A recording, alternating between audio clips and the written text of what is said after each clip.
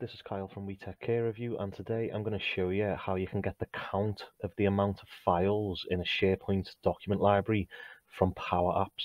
Um, so we'll get straight into it. So first things first, as you can see, I've got a document library here and that's got three files in it. Um, and I've added that data source to my app. And so basically what I will do is I'm just going to add a label here so I can show you the command.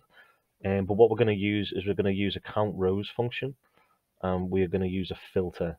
Um, now I'm just going to paste the code in. I'll put this code in the description of the video, but I'll just run through it here.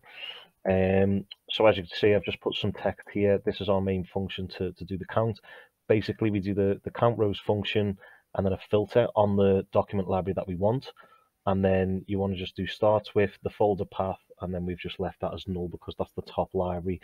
Now, if you did want to set this to look at subfolders within a document library, um, you could actually add that path here. So it could be, you know, sub document one, and then it would, you know, it would look down that path. But for now, obviously, we're just using a document library, so that's the top, the top path. And there you can see, so that's already counting the three files in that SharePoint document library.